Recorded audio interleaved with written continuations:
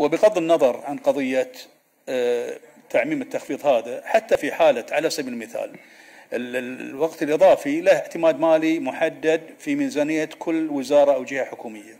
فعند استنفاد هذا الرقم على سبيل المثال أيضا لا يتم التعويض بمبلغ نقدي ولكن يتم التعويض بيوم راحة أو يوم في الإجازة السنوية. تساءل بعض الإخوان عن السند القانوني لهذا الإجراء. السند واضح جدا في المادة 27 من ساعة العمل الإضافي البند الأول الذي يقول وفقا لما يحدده الجهاز.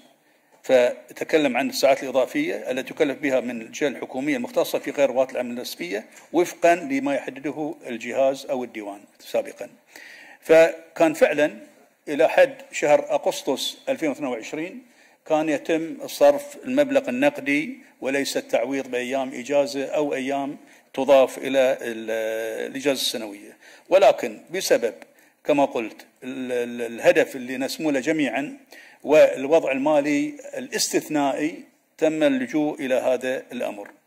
بالنسبة لي هذا التعميم التعميم هذا لا يعني لا يشمل الجميع جميع الموظفين ولكن هناك استثناء منهم بحسب ما كثر ما تفضلوا الأخوة والأخوات طبيعة أعمالهم تستلزم هذا الأمر. فنعم تم الإبقاء عليهم. قبل التعميم كان 5517 موظف حكومي يستفيد من العمل الإضافي.